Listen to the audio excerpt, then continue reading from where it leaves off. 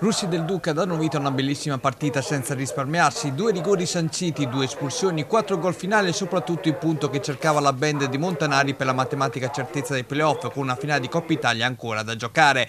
Dopo il toffo di Pietra Cuta, la del Duca ribelle sprofonda anche a Russi già dopo solo i pochi minuti di gioco quando Tassinari di testa deposita il pallone calciato da Lombardi alle spalle di Teodorani ma il vantaggio dei Falchetti è destinato a durare poco, la del Duca Ribelle non ci sta, da una manovra insistita i padroni di casa non riescono a gettare il pallone al di fuori dell'area di rigore fino a quando la zappata vincente è a cura di Farabegoli che fa gridare al fallo la difesa di casa ma così non è per il direttore di gara, parità ristabilita in campo. Ma la partita continua ad essere vincente, Forti carambola precipitosamente su Filippi dentro l'area di rigore. E per il direttore di gara trattasi di penalty. Sov dagli 11 metri si lascia per utilizzare da Teodorani. E sul capovolgimento dell'azione la del Duca Ribelle va vicinissima sul passo con Dumitru che in velocità mette il pallone sul fondo. A parti inverse questa volta Temporina a terra su Dumitru, il rigore in questo caso è a favore della del Duca Ribelle. Dagli 11 metri Dumitru a presentarsi e a non sbagliare l'appuntamento con il gol. 1 a 2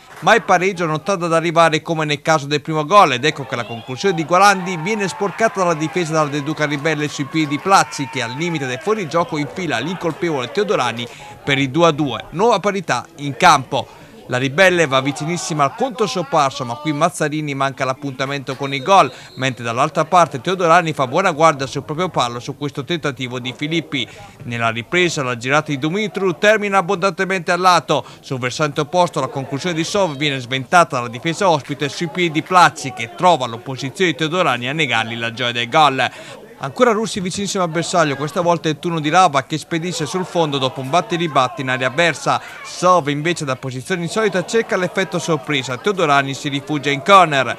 Dumitru invece in contropiede si divora i 2-3 sparando addosso all'ottimo Casadio, bravissimo in uscita. Nel finale ancora Sov protagonista, la conclusione viene respinta sui piedi di Filippi da Teodorani ma l'attaccante dei Falchetti commette fallo sul portiere ospite, gol dunque annullato.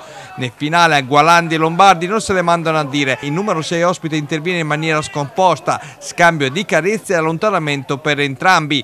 Russi che cerca ancora la via del gol, a Filippi viene annullata la rete per fuorigioco prima che al foto finish finisce Fontana dopo un batte ribatti in area avversaria a Ricrimini per un calcio di rigore.